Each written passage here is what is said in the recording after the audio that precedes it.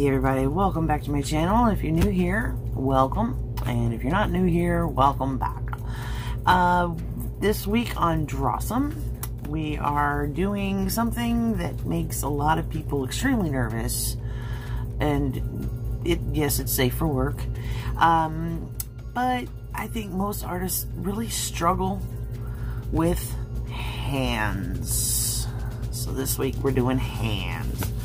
So, I am completely without internet right now, so I could not bring up any kind of references or anything like that because I do everything on my phone. I record everything and edit and all that. So, what I thought I would do is explain to everyone what it is I do when it comes to cartooning. And when it comes to hands, it's a lot more liberal. You can get away with a lot more um, when it comes to drawing hands. So, move some of this stuff. Scooch this over. So I'm going to show you how I draw Floof's hands. So here's Floof. Yeah, he looks a little worried, as we all do when we know we have to draw hands. Now, when it comes to cartooning, you don't have to have the whole four fingers and a thumb. Floof has got three fingers and a thumb. And some people might ask, well, why? It just makes it a little easier to uh, make sure that he doesn't look too realistic and that he is a cartoon. So, when it comes to hands though, you should know how to draw a regular hand and all of the different, um, we all have, you know, you've got three parts to each finger, which means you've got two knuckles. These two, two here. This is what everybody has a problem with. Let me show you when you're drawing a hand, whether it be for a cartoon or a semi-realistic or even realistic, you start out with, like, this would be the palm of the hand, and each finger has three parts.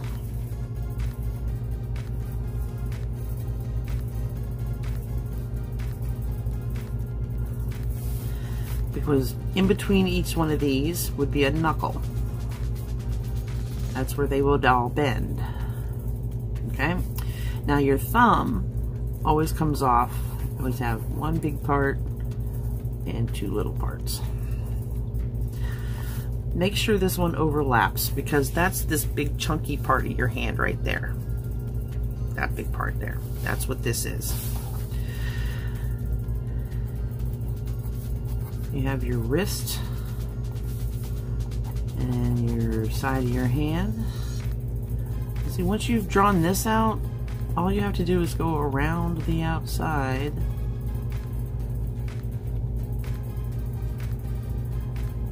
Connecting everything.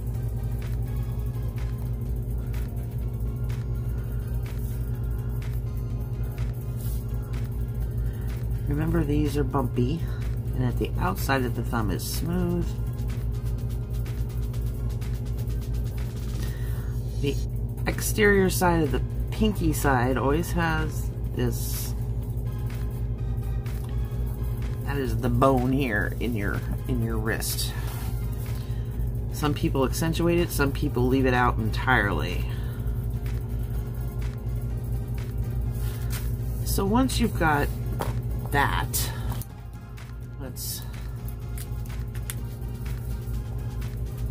show just go over that line with the pen. Like your inking your picture.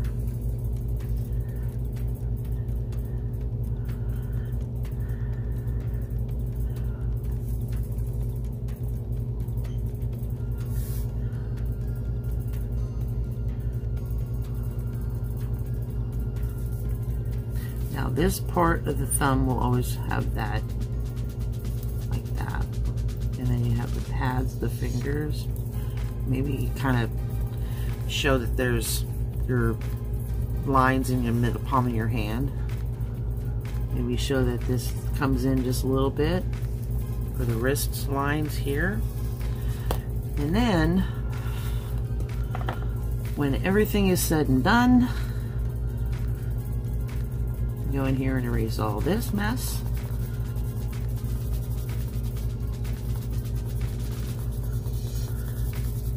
Voila, you have a hand.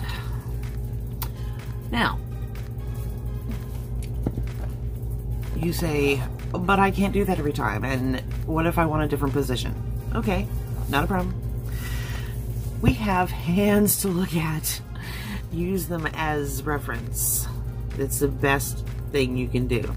And if you're having issues like, well, I'm left-handed and all I ever draw is right-handed. Well, okay, I'm right-handed. I always use my left. So, it's very simple. All you're going to do is just reverse everything. So you have your fingers.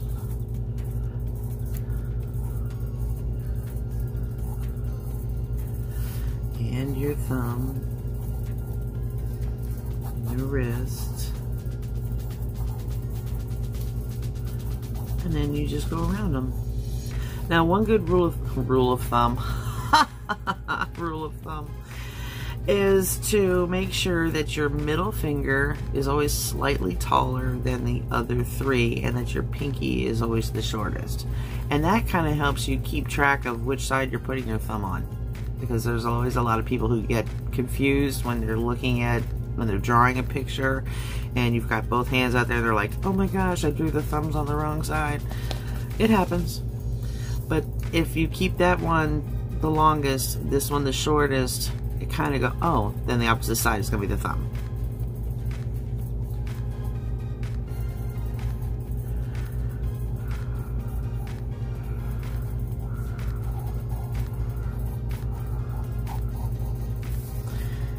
And then we just have our little lumpy thumb in there.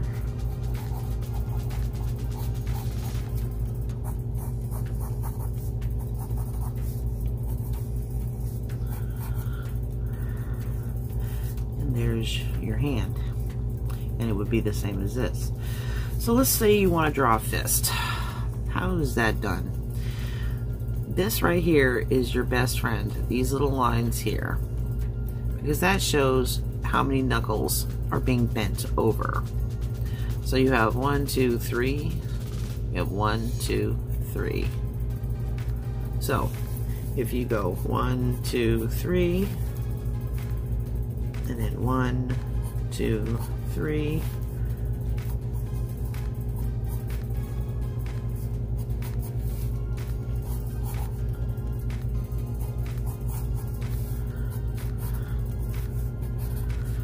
Then you've got that portion of the hand, which is always normally the hardest part to draw.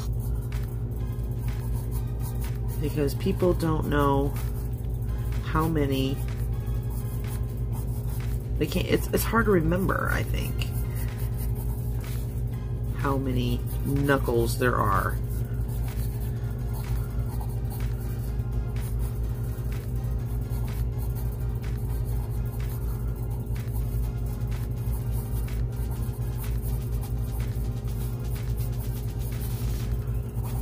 So it's like you if you sketch things in you can kind of see how things start to develop. It's one of these things where it just takes trial and error. But if you can look at your own hand in different positions, you can draw them. It's just muscle memory, making sure that you know how far up your, like the fingernail would go. Do you see these fingernails here when you make a fist? Do you not want to see them? Do you just see the back of the hand? It's all perspective. So if you're going to draw, let's say we're going to do this, but we're going to draw the back of the hand. It's, it's all the same. You draw the little thing for the palm. You draw your fingers. Make that a little bigger. And your thumb.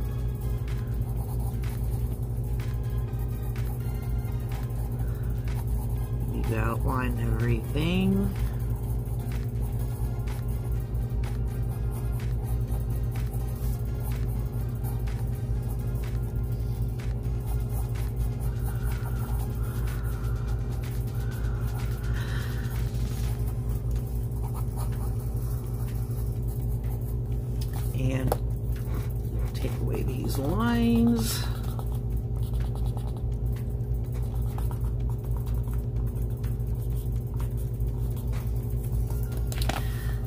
Have the back side of my hand.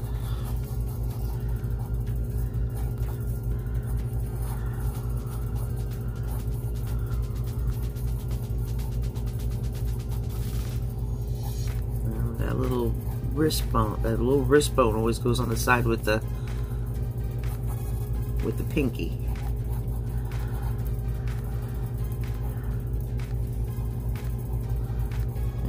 Put in your fingernails if you want.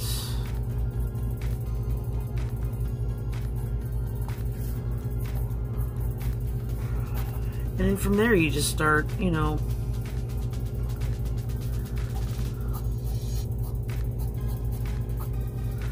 adding in your details. So it's it's basically just practicing. But use your own hand as your reference. It's it's the best reference you've got and you can carry it with you everywhere you go. I mean, we look at these things all day long. You would think we'd be better at drawing them. And I know some people out there that are fabulous at drawing hands. Uh, Darkest Raven Designs, for instance. You gotta go see her video today. It's really awesome. And uh, so, yeah, if you are having issues with drawing hands, now there there's plenty of other people who they use the same basic steps. Um, waffles, she kills me. I love the way she does them. She basically makes a box of french fries. Splits the middle one down.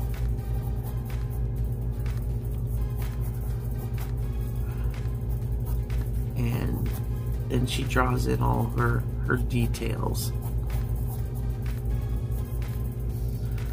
But, I mean, they look really good, especially if, you know, I mean, some people, it, it's all on your style, too. So, it's, there's so many ways of doing it. There's lots of uh, tutorials on how to draw hands. Um, like I said, for cartoony, if you're going to go cartoony, um, those can be done in lots of different ways. Excuse me. There are, uh, let's see.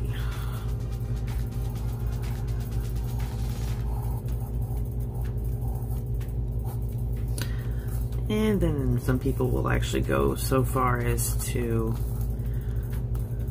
it'll just look like a mitten. So it's, it's all on your own style. It really is. Uh, what, let me see. There was, oh, one other one. Uh, I think where can I put it? if you draw a fist,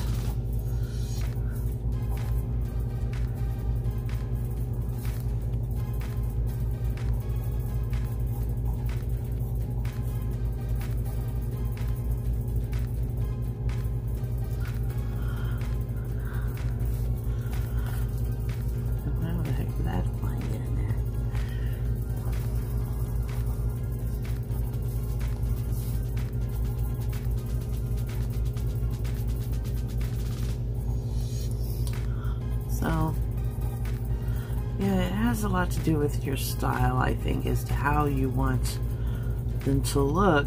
But if you're not happy with your style, change it up. There's different ways of doing it. There's different ways of coming up with the shape. Um, you know, to to where it's it's either semi-realistic or a little more on the cartoony side or completely cartoony. So there's there's so many different ways of doing it. And that's that's the that's the beauty of art is you can do it pretty much anyway as long as you've got the parts down correctly. So if you can remember this where each finger has got two places where it folds and then its overall fold and that the thumb has this large portion here by, down by the you know base of the hand and then two here you've got it. Then you can bend them however you want.